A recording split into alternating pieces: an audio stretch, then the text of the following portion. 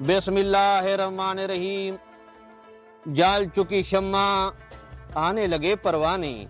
आगाज़ बिस्मिल्लाह अंजाम खुदा जाने। ये हैं इकबाल फातिमा इकबाल सोबत बना रही हैं। है सोबत जो है वो हमारे इलाके की एक डिश है।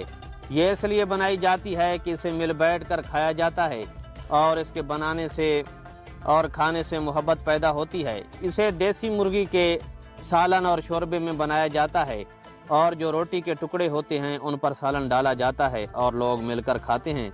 और इकबाल अभी बना रही है और इकबाल और हम मिलकर इसे खाएँगे और आप देखते रहें। और सोबत भी बहुत अच्छी है। इससे भी मेल बैठ कर मोहब्बत, प्यार बढ़ता है। मुर्गी का शोरबा और उस मुर्गी का शोरबा और इसमें सालन वगैरह मिला के बहुत अच्छे तरीके से सालन बनाया है। सालन में साले डाल। और ये पतली पतली रोटियाँ, इनके टुकड़े बना के इसमें शोरबा डाला है और अब ये सोहबत बन गई है। बिस्मिल्लाहिर्रहमानिर्रहीम, आप देख रहे हैं कि इकबाल उनकर इकबाल सोबत बना रही है, जो इकबाल ने बना ली है, और हम सब मिलकर इसे बैठकर खाएँगे।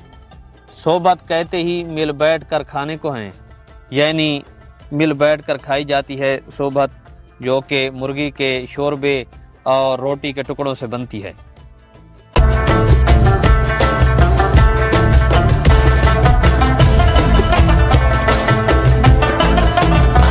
ये आप देख रहे हैं कि ये सोबत है और इसमें देसी मुर्गी की बोटियाँ हैं और शोरबा है और ये रोटी के टुकड़े हैं।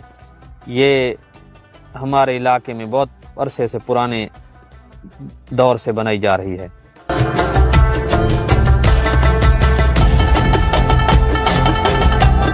जो सोबत होती है, उसे मिल बैठकर हाथों से खाया जाता है, मगर हम इसे चम्मच से खा रहे हैं।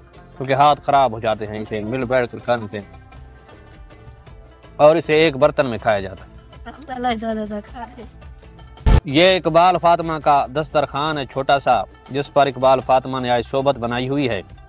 और हम सब मिलकर इस सोबत को खा रहे हैं।